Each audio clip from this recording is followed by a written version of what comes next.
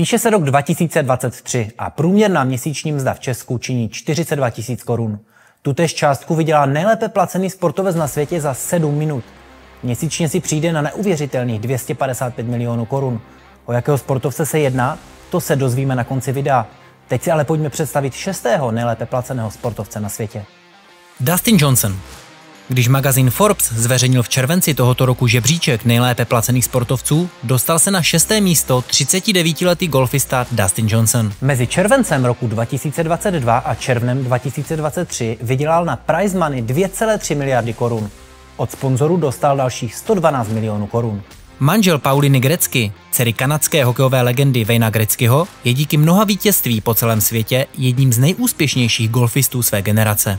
Na kontě má šest vítězství na World Golf Championships. Více triumfů má pouze Tiger Woods. Dustina Johnsona v roce 2022 zlákali peníze od šejků ze Saudské Arábie a přišel tak z americké PGA Tour právě do Live Golf. Díky tomu se zařadil na šesté místo žebříčku.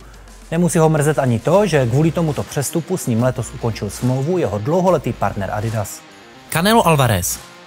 Pátým nejlépe vydělávajícím sportovcem světa je boxer Canelo Alvarez. Canelo však není jeho pravé jméno, ale jedná se o zkrácený výraz pro španělské slovo canelito, což znamená malá skořice. Je to odkaz na jeho zrzavé vlasy a pihy, kvůli kterým byl jako dítě šikanován. Aby se mohl spolužákům bránit, rozhodl se napodobit svého bratra a začal ve 13 letech boxovat.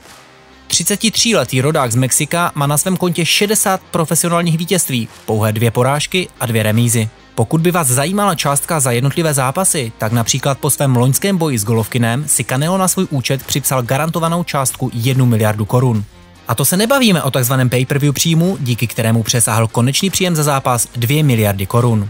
Celkově si Alvarez za sledované období vydělal jen na odměnách za zápasy přibližně 2,2 miliardy korun. Od sponzorů zinkasoval dalších 225 milionů korun. LeBron James. Z boxu se přesuneme k basketbalu. Dalším sportovcem je LeBron James, který hraje v NBA za tým Los Angeles Lakers. Na střední škole zkoušel mimo basketbal také americký fotbal, ve kterém rovněž vynikal. Nakonec zůstal u basketbalu a stal se středoškolskou sportovní hvězdou. V roce 2002 zdobil obálku Sports Illustrated s titulkem The Chosen One, překladu vyvolený čím si spečetil svůj osud od samého začátku kariéry. LeBron James je rozený levák, ale naučil se házet pravou rukou tak dobře, že se v únoru roku 2023 stal rekordmanem NBA v počtu nastřílených bodů v základní části soutěže, když překonal Karima Abdul-Jabara a jeho 38 387 bodů. Ale mimo sportovní stránku je také výborným biznismenem. Ze seznamu nejlépe vydělávajících sportovců světa vydělali za své obchodní úsilí více pouze Roger Federer a Cristiano Ronaldo. LeBron spolupracuje se značkami jako Nike, Sony, Pepsi, má také podíly ve sportovních klubech a dalších společnostech. Tyto obchodní aktivity tvoří velkou část jeho příjmů a za sledované období si díky těmto aktivitám připsal na účet přibližně 1,7 miliardy korun. Ale ve svých 38 letech je LeBron James stále skvělým hráčem, proto na hřišti vydělává téměř 1 miliardu korun. Kylian Mbappé. Dostáváme se na bronzovou pozici, kterou příhodně zaujímá dobrý kamarád LeBrona Jamese. Jedná se o fotbalistu Kyliana Mbappé, jež se stal v 19 letech nejmladším francouzským hráčem, který kdy hrál v finále mistrovství světa a vyhrál ho. Jedná se také o nejmladšího střelce hetriku ve finále mistrovství světa. Povedlo se mu to v roce 2022, kdy třikrát skóroval proti Argentině, a to ve věku pouhých 23 let. Kylian Mbappé je velkým fanouškem videohry FIFA, kterou hrával jako dítě dlouhé hodiny.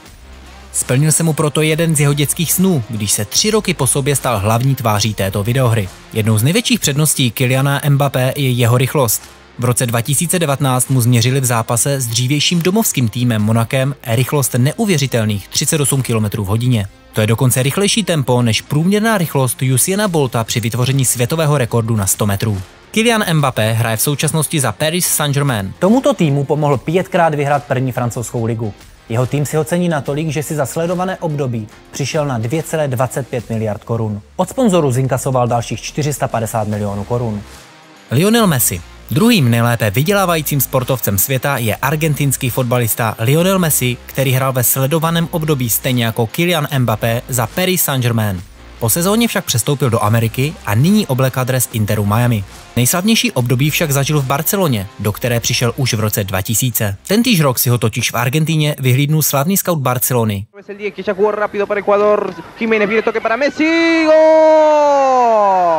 který když viděl tehdy 12-letého Messiho hrát, byl tak nadšený, že sepsal smlouvu na papírový ubrousek a získal ho do týmu. Za A tým nastoupil již v roce 2004 a to v pouhých 17 letech. Kvůli vysokým dluhům a španělským pravidlům finanční fair play však musel katalánský klub po 20 letech opustit. I přesto stihl v dresu Barcelony nasázet ve španělské lize neuvěřitelných 474 gólů, desetkrát ji vyhrál a čtyřikrát se radoval z vítězství v lize mistrů. Lionel Messi je také nejlepším argentinským střelcem na mistrovství světa. Díky sedmi gólům na mistrovství světa v roce 2022 se jeho celkový počet vstřelných branek navýšil na 13 a o jeden gól tak překonal Gabriela Batistutu. Za sledované období si včetně obchodních aktivit přišel téměř na 3 miliardy korun.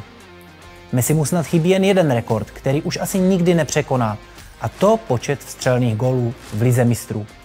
Přestože nasázel neuvěřitelných 129 gólů, na první místo to nestačí, protože na něm se vyhřívá Cristiano Ronaldo. Ano, tento portugalský fotbalista je se 140 góly nejlepším střelcem ligy mistrů a také nejlépe vydělávajícím sportovcem na světě. Cristiano Ronaldo si ve sledovaném období od června roku 2022 do července roku 2023 vydělal přes 3 miliardy korun, jinými slovy 255 milionů korun měsíčně nebo 8,5 milionů korun denně. Chcete-li to více dopodrobna, tak jeho hodinová sazba činí 350 tisíc korun a za jedinou vteřinu se dostáváme na 100 korun.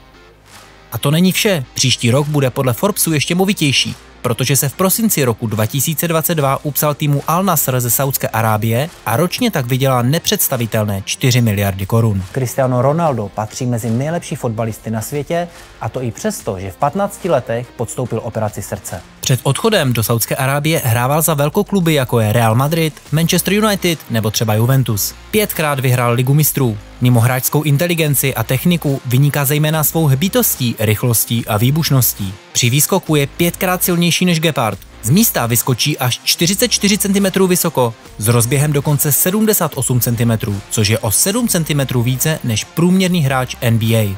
Ačkoliv je Ronaldovi už 38 let, jeho tělo a biologický věk na to nevypadají. Sám Cristiano Ronaldo tvrdí, že základem úspěchu je poctivá disciplína.